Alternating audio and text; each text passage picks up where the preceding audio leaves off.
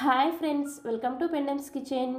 ఈరోజు వీడియోలో ఒకే ఒక కప్పు బియ్యంతో అప్పటికప్పుడు పైనుంచి క్రిస్పీగా లోపల సాఫ్ట్గా ఉండే పునుగుల్ని ఎలా వేసుకోవచ్చో ఈ వీడియోలో చూపించబోతున్నాను. ఎప్పుడైనా సరే మీకు ఈవినింగ్ అప్పటికప్పుడు ఏమైనా తినాలి అనిపిస్తే ఈ విధంగా చిట్టి చిట్టి పునుగులు ట్రై చేసి చూడండి. చాలా చాలా టేస్టీగా ఉంటాయి. సో ఇక ఏ మాత్రం ఆలస్యం చేయకుండా మనం అప్పటికప్పుడు ఈ పునుగుల్ని ఎలా ప్రిపేర్ చేసుకోవాలో ఈ వీడియోలోకి వెళ్ళి చూసేయండి. ఈ పునుగులు ప్రిపేర్ చేసుకోవడం కోసం ఒక గిన్నెలోకి ఒక కప్పు బియ్యాన్ని వేసుకొని వీటిని ఒక్క అరగంట సేపు నానబెట్టుకోండి మీకు ఒకవేళ టైం ఉంటే ఒక మూడు నుంచి నాలుగు గంటల సేపు అయినా సరే బియ్యాన్ని నానబెట్టుకోవచ్చు ఇక్కడ దోశల బియ్యాన్ని కానీ లేదంటే రేషన్ బియ్యాన్ని కానీ వేసుకోండి. అప్పుడు మీకు పునుగులు అనేది చక్కగా వస్తాయి అన్నమాట.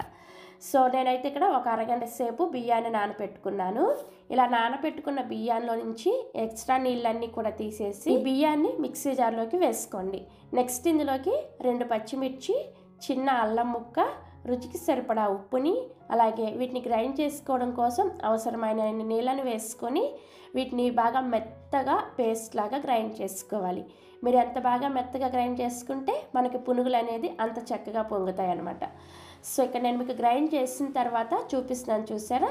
పిండి కన్సిస్టెన్సీ అనేది ఈ విధంగా బాగా గట్టిగా ఉండాలన్నమాట.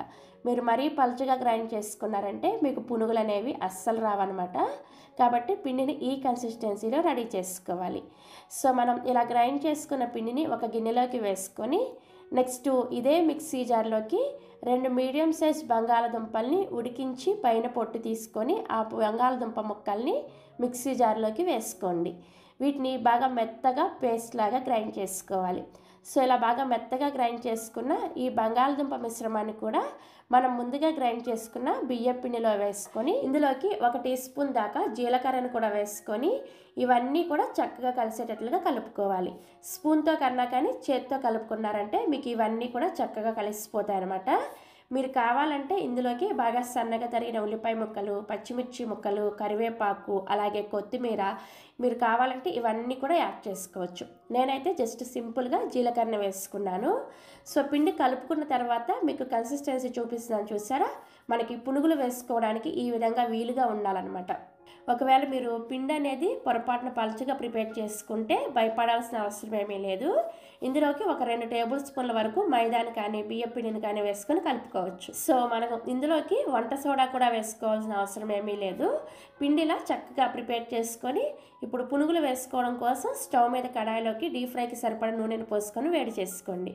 నూనె బాగా వేడిగా ఉండాలి. ఎప్పుడైనా సరే పునుగులు వేసుకోవాలంటే నూనె బాగా వేడిగా ఉన్నప్పుడు మంటని హై ఫ్లేమ్లోనే ఉంచుకొని మనం ప్రిపేర్ చేసుకున్న పిండిని ఇలా ఒక సైడ్ నుంచి కొద్దిగా తీసుకొని చిన్న చిన్న చిట్టి పునుగులు వేసుకోండి.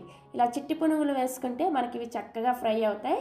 చూడగానే తినాలనిపిస్తుంది అనమాట సో మీ కడాయికి సరిపడా చిట్టి పునుగులు వేసుకొని ఇప్పుడు పునుగులు వేసుకోవడం అయిపోయిన వెంటనే మంటని మీడియం ఫ్లేమ్లోకి పెట్టుకొని వీటిని అన్ని వైపులు కూడా ఇలా తిప్పుకుంటూ రౌండ్గా తిప్పుకుంటూ ఫ్రై చేసుకోండి.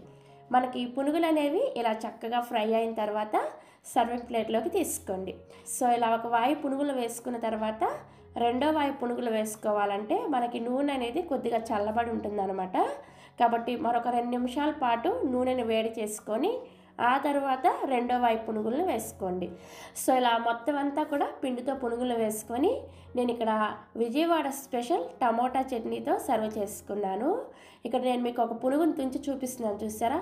పైన క్రిస్పీగా లోపల సాఫ్ట్గా చాలా చాలా బాగుంటాయి. ఈ Vijayawada special tomato chutney recipe కావాలి అంటే నేను ఆల్రెడీ ఇంతకుముందు విజయవాడ స్పెషల్ పులిబొంగరాల రెసిపీలో చూపించాను. మీలో ఎవరికైనా కావాలి అంటే ఈ వీడియో కింద ఆ వీడియో లింకుని డిస్క్రిప్షన్లో ఇస్తాను. ఒకసారి చెక్ చేయండి. సో చూసారా అప్పటికప్పుడు మనం ఒకే ఒక కప్పు బియ్యంతో పునుగుల్ని ఎలా ప్రిపేర్ చేసుకోవచ్చో దీనికోసం పెరుగు వంట సోడా ఈనో ఇవేమీ అవసరం లేదు. చాలా సింపుల్గా ప్రిపేర్ చేసుకోవచ్చు. తప్పకుండా మీరు కూడా ట్రై చేసి చూడండి. ట్రై చేసిన తర్వాత మీకు టేస్ట్ ఎలా అనిపించిందో ఈ వీడియో కింద కామెంట్ సెక్షన్లో నాతో షేర్ చేసుకోండి. అలాగే ఇప్పటి వరకు మన ఛానల్ సబ్స్క్రైబ్ చేసుకోకపోతే ఇప్పుడే సబ్స్క్రైబ్ చేసుకొని ఈ వీడియోని ఒక లైక్ చేసి మీ ఫ్రెండ్స్కి అండ్ కూడా షేర్ చేయండి. Thank you